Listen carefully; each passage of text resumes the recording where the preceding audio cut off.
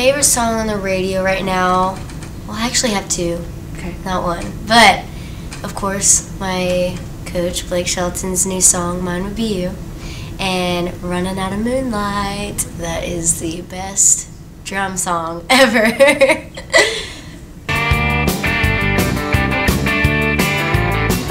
My dream collaboration would probably be, of course, Carrie Underwood.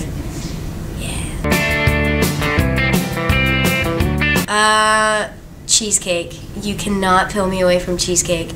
In California, when I was on The Voice, every night would probably be a cheesecake night. It was bad.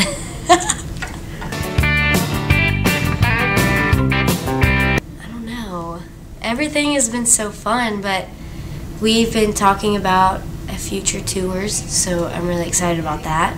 And I keep telling everybody I want to sing at the Houston Rodeo. That is my dream. So, future references I'm excited about. Yes.